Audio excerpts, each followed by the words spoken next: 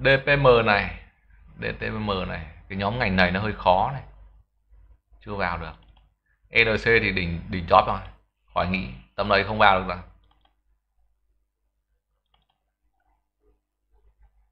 Nói chung là cái nhịp này chúng ta cần phải ta đảo qua thấy là hầu hết các mã là cứ cần phải đầu đâu đấy khoảng một tháng nữa quý vị. Chưa chưa chưa vào được. Cần phải chỉnh thêm. Đó. thì khung tuần chúng ta thấy nó cứ nó cứ rơi xuống này nó rơi xuống là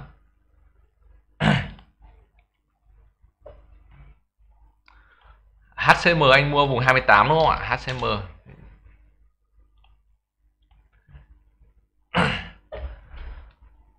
em chào anh à, Tú Phạm nha. Em chào uh, tiểu chứng sĩ. Anh chào anh uh, Nguyên Đan. Anh chị Nguyên Đan. Chào anh uh, Hiến Trương. Chào anh nhá. Cảm ơn anh rất nhiều.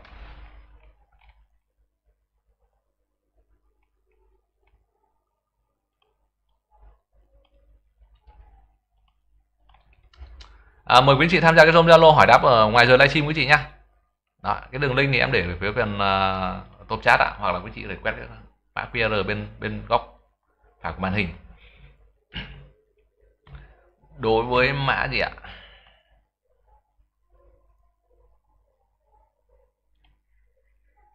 HCM anh mua 28.5 Novaland mua 19 28.5 28.5 đoạn bài. Ồ cái nhịp này là phiên mai phiên mai, phiên mai là hàng về rồi. Phiên mai hàng về rồi. Đó. có thể là canh chốt ở vùng 30 có thể canh chốt ở vùng 30 nhá. Hoặc là 29.5 ăn một giá thôi. Này à, lấy một giá thôi. À, không nên kỳ vọng nhiều. À, nếu mà quý quý chị à, để mà lâu ấy, thì khả năng chắc chấp nhận được cái biên xuống vùng 27 này, xong lại bật lên. Nhưng mà cái lượng hàng trên này tôi nói nhiều này quý chị. Cái đường màu xám này tôi nói nhiều. Đường màu xám tôi nói nhiều nên khả năng nó nó khó có khả năng lên lên mạnh ở cái nhịp này được. Nó cần phải tích lũy thêm hàng. Một là đi ngang khu vực này, hai là tụt xuống hẳn vùng vùng 27 nó để lấy thêm hàng, bắt đầu họ đánh lên. Thì cái xác suất và tụt xuống này.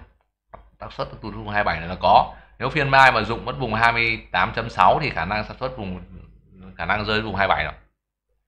Thế nên là anh mai mà có nến đỏ tí là loanh quanh anh chốt ở vùng 27.29.6 ờ, này cũng được rồi.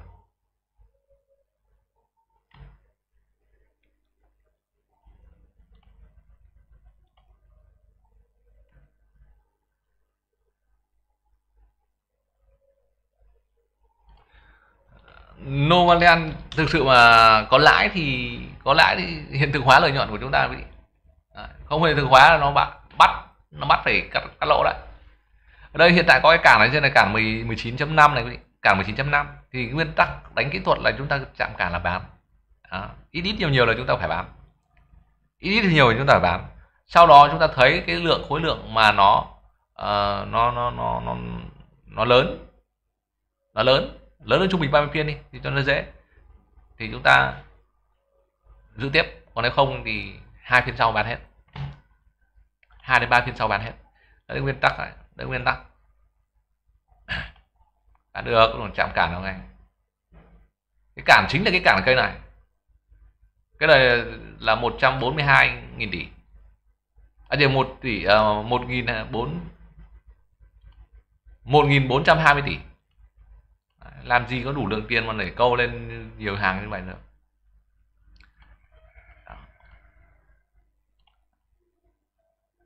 À, TDC 13.3 HT1 15.1 xin hướng xử lý. TDC 13.3 13.3 một đoạn là cây này rồi. Bật hồi lên trên vùng 12.6 có thể thoát được này. Phá anh cái cây giảm này khối lượng hơi lớn, cái cây đã làm đã 31 tỷ. 31 tỷ quý chị mấy cái này nó chỉ 15 tỷ 10 tỷ 5 tỷ. Lượng hàng không đủ. Và cái cản 12.6 là cản rất là rất là mạnh. Khó lên. Khó lên. Khả năng là hồi thoát thôi cái lượng hàng này không đủ rồi. Nếu mà để ngâm ngâm cái lượng hàng này có mà đến tận cuối năm. Nếu mà cứ, cứ, cứ tăng tăng khối lượng này đến tận cuối năm mới hồi thế mà từ giờ đến cuối năm thì cái biên độ dao động nó chưa biết tầm nào. Một cái vùng đáy ở vùng giá 9.5 đó. Một là gì ạ?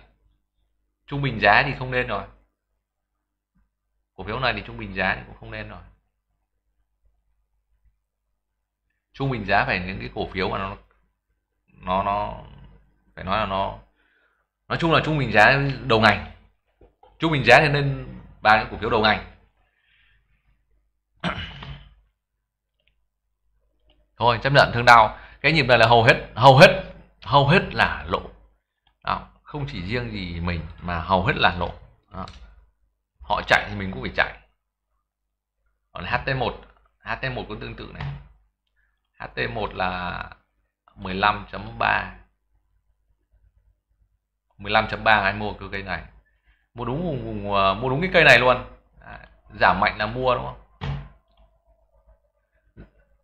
Cái xu hướng bật đáy ấy, ờ, à, bật đáy là gì? Bật đáy là nó phải trứng lại một vài viên tạo tạo tạo đáy. Cái này bật hồi lên thì thoát thôi anh không còn cách nào khác rồi. Cái nhịp này là muốn ờ, muốn ờ, DCA hoặc là hạ giá vốn thì cái nhịp này không phải rồi. Nếu mà DCA hạ giá vốn, nó phải là vùng 12 này.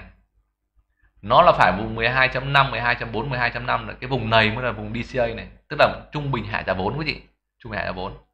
Thôi con lần bật hồi lên thoại muốn trung bình hạ giá vốn nữa thì thì nó phải là vùng bên dưới này bên này chưa trung bình được.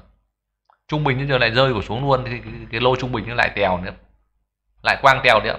Trung bình là phải vùng 12.5 này loanh quanh ở khu vực này thì mới trung bình hạ giảm vốn được quý vị nhá. Thôi bật hồi lên phát đi. Những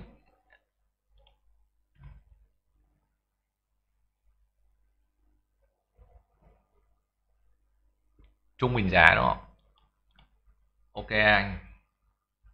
PC1 PC1 là cổ phiếu trung hạn. Trung bình hạn là vốn này. Như vậy phải có hàng khả dụ về rồi.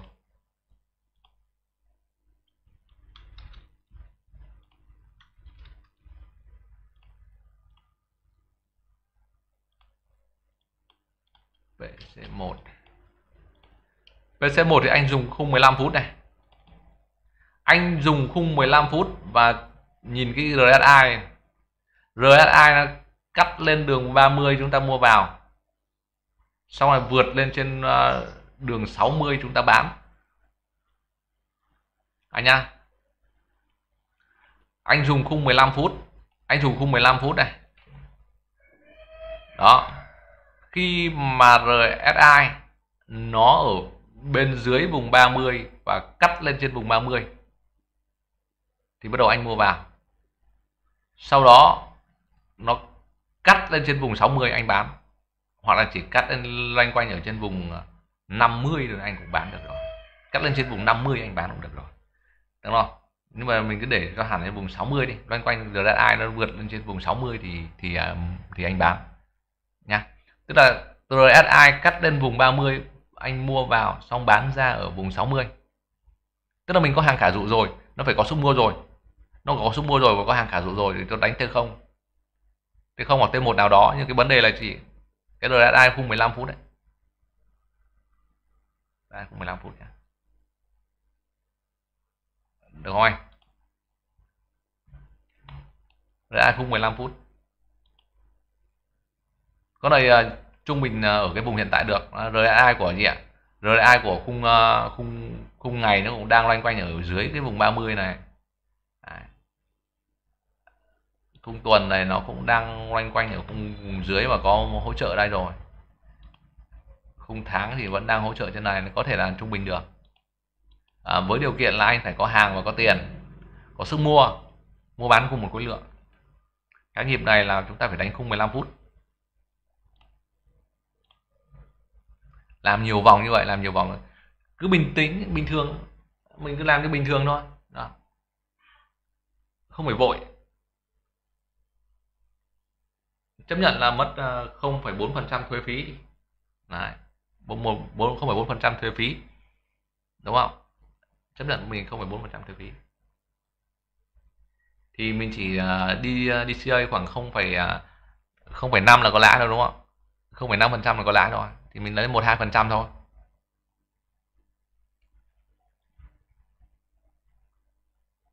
Làm nhiều vòng cũng được.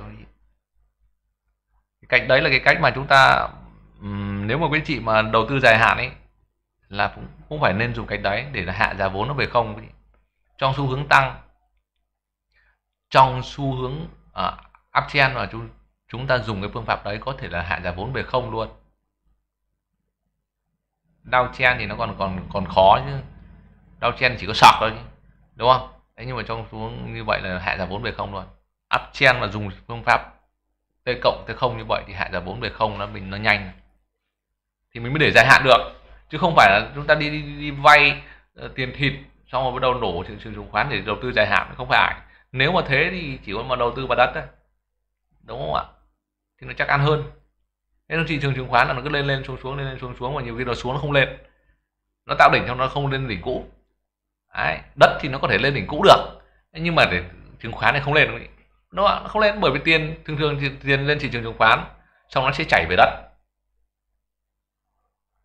thế nên là chúng ta lên thị trường chứng khoán là chúng ta phải hạ giá vốn cái, cái khoản đầu tư của chúng ta về không bằng cách là DCA hạ giá vốn như kiểu con em vừa nói cái con VC1 này.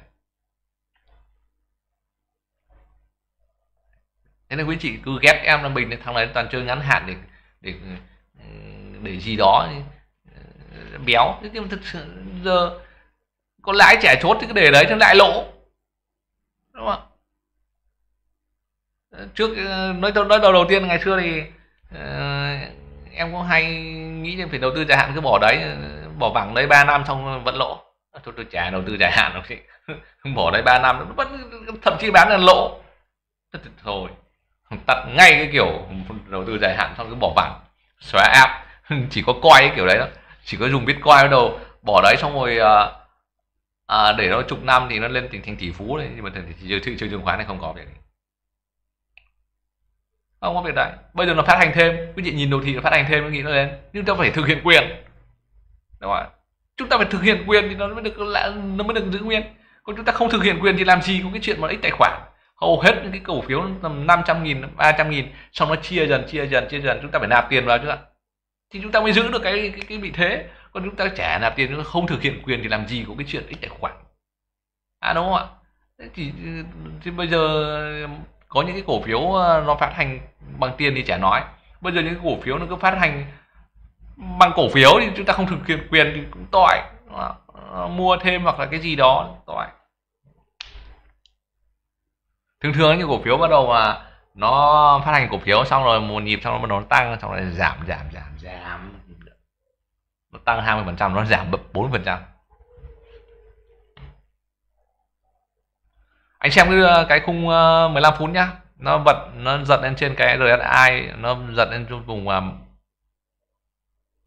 30 Đó. chỉ anh bí quyết nghề này. R14 R14 anh mua là 25 giữ được không?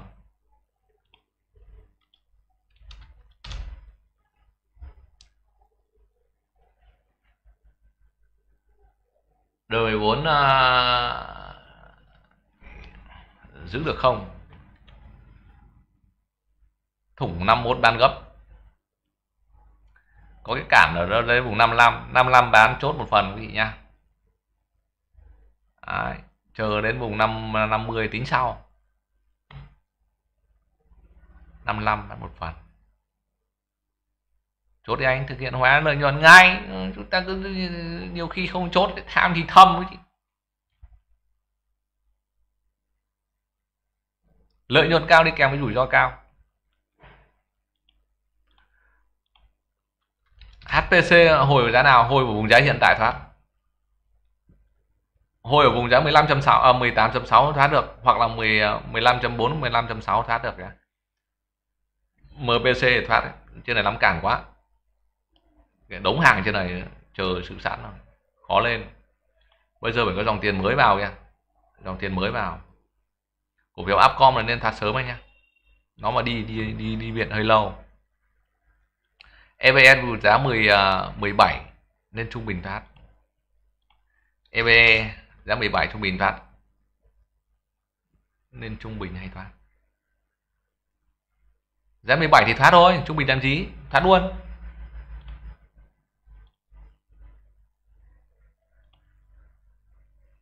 Bật lên phát xanh phát phát luôn.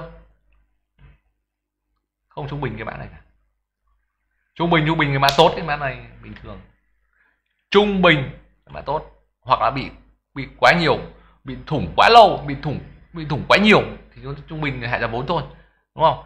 Còn uh, với hai nữa là những cái mã mà mà tốt đấy những mã đầu ngành ấy thì trung bình. Thế còn những cái mã mà nó bên lèng pèng thì thôi thoát cắt là cắt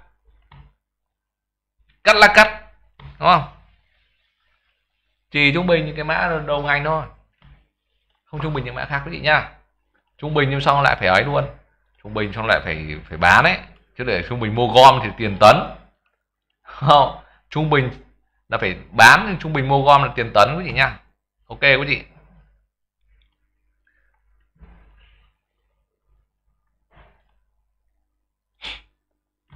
Đó rồi em mình cảm ơn 15 quý chị à, đã like cảm ơn à, 29 chị quý chị đang xem quý chị nha ờ, rất mong là quý chị sẽ ủng hộ em à, em em Bình và anh em team bằng những lượt like subscribe kênh ờ, và và gì ạ? Bình luận thả tim quý vị.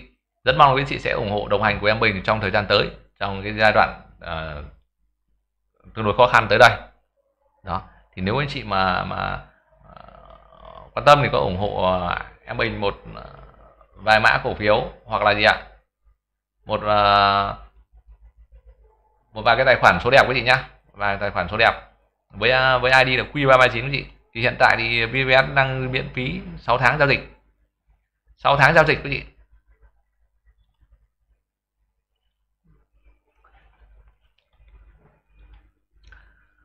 hiện tại vào được IA hoặc không? Không quý chị nhá. Nói chung là nói thẳng luôn với chị là nhịp này chúng ta chưa vào vội.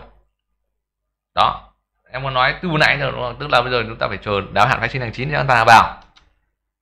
Đang đang cắm đầu cắm cổ đi xuống này, không vào gì không nên bắt đáy gì chưa thể vào được.